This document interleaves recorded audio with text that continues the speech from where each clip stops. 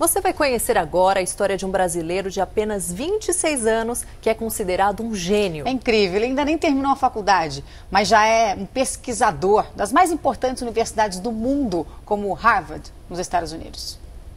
Imagine nunca mais usar fios para ter energia elétrica.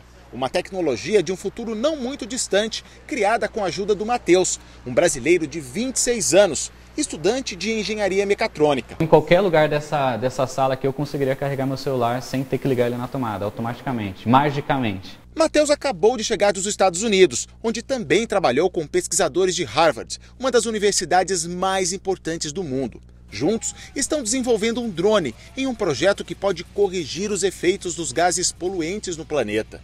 No começo do ano, Matheus recebeu duas propostas, da Agência Espacial Americana NASA para trabalhar com o satélite no dia seguinte, recebeu o convite de Harvard para desenvolver o drone.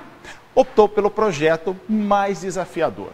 Ele sempre estudou em escola pública, conseguiu uma bolsa na faculdade e no quarto ano do curso decidiu que iria além.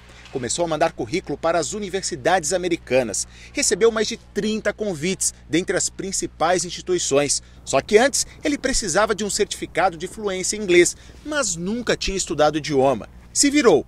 Em três meses, estudando 16 horas por dia, conseguiu. Sábado, domingo, feriado, eu, tirava, eu lembro que eu tirava 40 minutos no almoço e 40 minutos na janta. Era o único descanso que eu tinha no dia.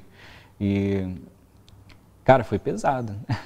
assim que terminar o curso de engenharia, Matheus vai se dedicar ao projeto em Harvard. Só que não pensa em ficar fora do Brasil. Tentar transferir e passar um pouquinho disso para os jovens aqui do Brasil, né? Porque eu acho que eu recebi um presente. E eu quero agora distribuir esse presente com o resto da galera aqui, por, e porque, porque só eu? Porque não tem outros jovens brasileiros lá?